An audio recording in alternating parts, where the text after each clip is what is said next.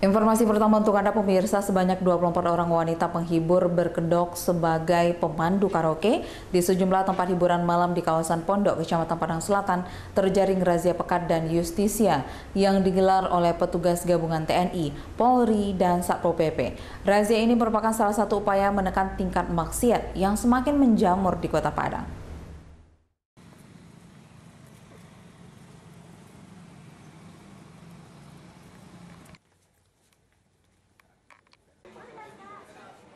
Satu persatu tempat hiburan malam yang ada di kawasan Hang Tuah dan Pondok, Kecamatan Padang Selatan, Kota Padang ini dirazia oleh petugas gabungan TNI AL, Polri, dan Satpol PP.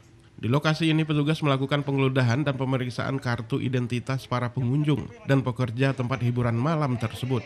Petugas menjaring puluhan wanita pekerja seks komersial yang berkedok sebagai pemandu karaoke di sejumlah tempat hiburan malam ini yang kemudian digelandang ke mobil patroli. Petugas juga menjaring dan mengamankan sejumlah pria hidung belang yang tidak memiliki kartu identitas.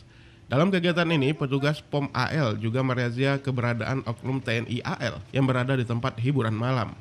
Dalam razia ini sebanyak 24 orang wanita malam dan 7 orang pria hidung belang berhasil dijaring petugas. Selanjutnya, puluhan wanita penghibur dan pria hidung belang ini didata dan diserahkan kepada Satpol PP untuk dilakukan pembinaan lebih lanjut sesuai dengan perda yang berlaku. Razia pekat dan justisi ini digelar untuk menekan tingginya aktivitas prostitusi dan maksiat yang semakin marak di Kota Padang, serta menetipkan segala bentuk backing dari oknum TNI terhadap tempat hiburan malam yang ada di Kota Padang yang selama ini diindikasi.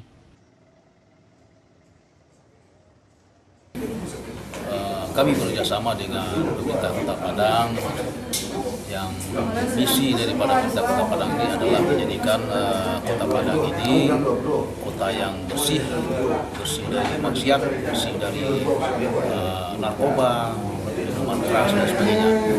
Sama dengan misi kita sendiri, kita mendukung kegiatan kita Kota Padang uh, sebagai prajurit tentunya kita mendisiplinkan penegakan hukum kepada prajurit dan kita juga uh, berpartisipasi untuk penegakan uh, disiplin kota Padang menjadikan kota bersih, aman dan nyaman. Dari Padang, Budi Sunandar, Ainus melaporkan.